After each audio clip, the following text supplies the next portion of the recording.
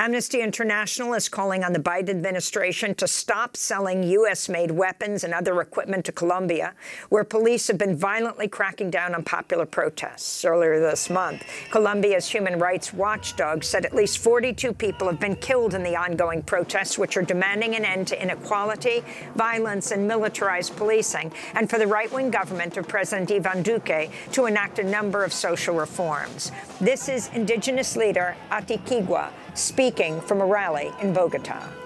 Queremos invitar a que el gobierno nacional pare ya los asesinatos a los líderes sociales. Cada tres días en Colombia están asesinando un líder indígena y queremos también el respeto a nuestros territorios, que no se sigan concesionando para actividades extractivas.